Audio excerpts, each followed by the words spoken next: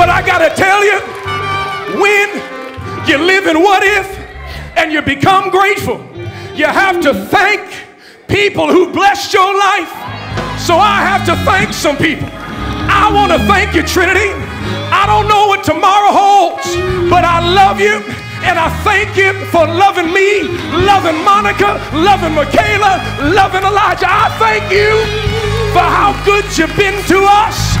I thank you, Monica, for loving me for 21 years. I thank you.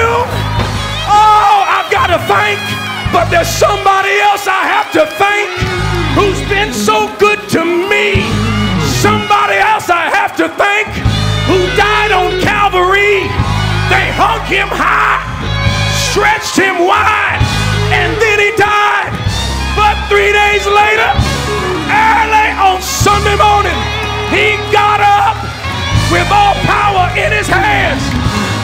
love you, Jesus. Thank you for being good to me. Thank you for saving me.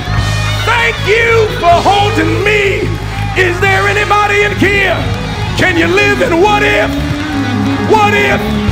What if? What if? What if? What if? Yeah! Yeah!